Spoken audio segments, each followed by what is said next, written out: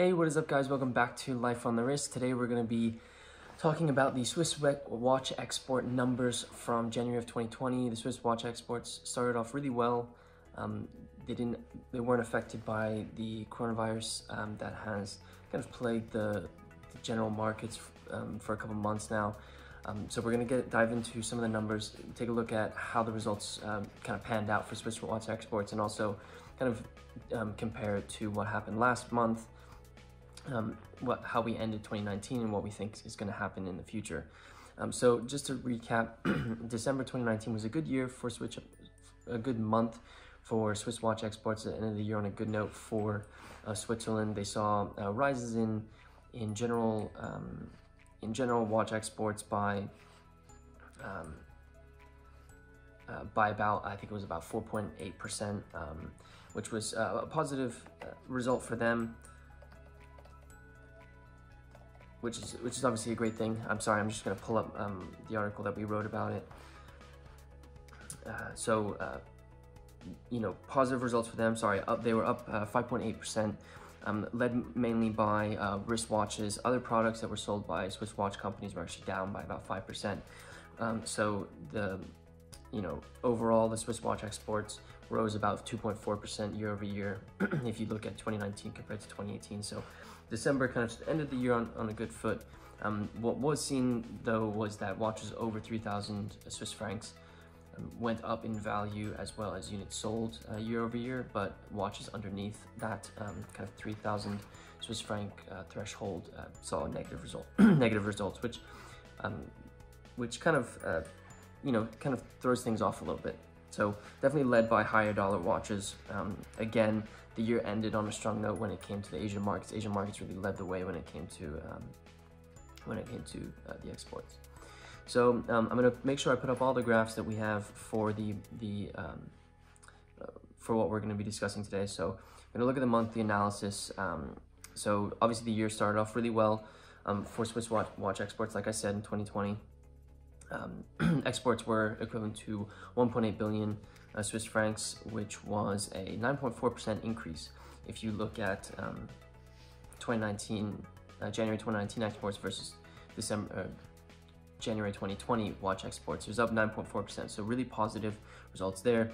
Wrist watches were up 10%, uh, while other products were down by about 2%. So wristwatches definitely led the way when it came to um, when it came to uh, watch exports. If you look at the 12-month moving average, we moved up um, around 3%. So um, trending in a, trending upwards, um, you, you, know, from November, where we kind of hit hit that bottom. Um, December had positive results. January has positive results. Um, I'm curious to see what ha happens to that 12-month moving average, though, especially with the effects of the coronavirus and the main markets that really are affected by um, that have been affected by this disease are huge markets when it comes to watches. But that's besides the point, I'll discuss that a little bit later. So January, we are moving average went around 3%, which is really positive. Um, if you look at the wristwatches by price category, this was a really great, um, great part of this report was the fact that um, obviously like, like the previous month, um, watches above 3,000 Swiss francs were up in both units and value. Units were up about 12.5% year over year and value was up about 12.6% year over year. So really positive results above 3 point, above 3,000 Swiss francs as we had last month. But if you move down one category to the 500 to 3,000 Swiss franc um, price ring, you, I, we saw positive results there as well year over year. So units were up 8.4% and value was up 10, 10.5%. So again, um, this is a really positive result and probably led to that sharp increase in Swiss watch exports by about 9.4%. It's really nice to see that watches from 5,000, uh, above 5,000 did well in units and value. Um, however, if you look below 5,000 or 500 Swiss francs, we saw negative results, which we've seen a lot recently. Um, again, I think this is mainly driven by the fact that individuals don't have as much disposable income as they, they did, um, you know, we're reaching kind of the end of the economic cycle. So perhaps people are holding on to cash a little bit more. Also January's, you know, after the holidays. So it's probably not a, a big spending spending month. I would say probably that 500 3,000 Swiss franc, that's probably a lot of um, watch boutiques and the like who are kind of getting their inventory ready for the next year.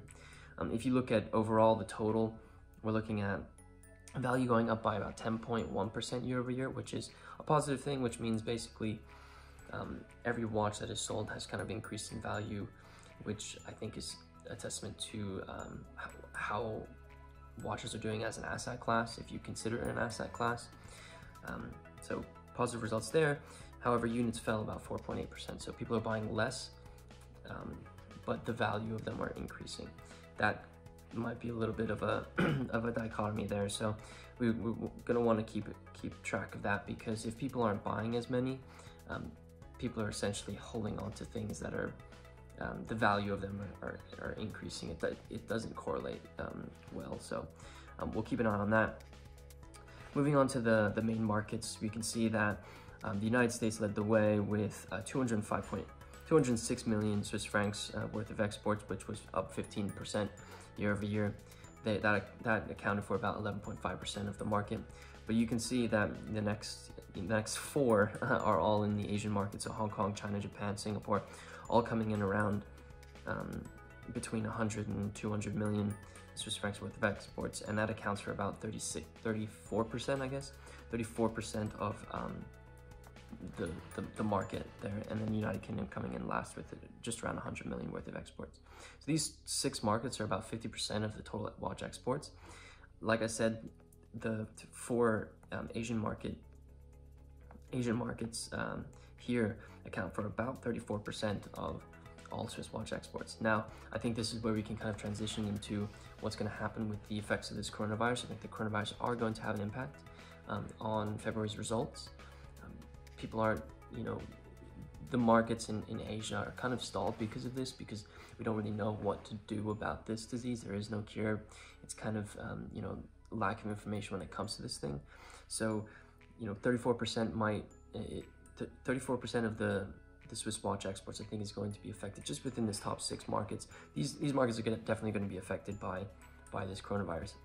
and I wouldn't be surprised if we had um, negative results uh, for the month of February just because of the effects of this coronavirus.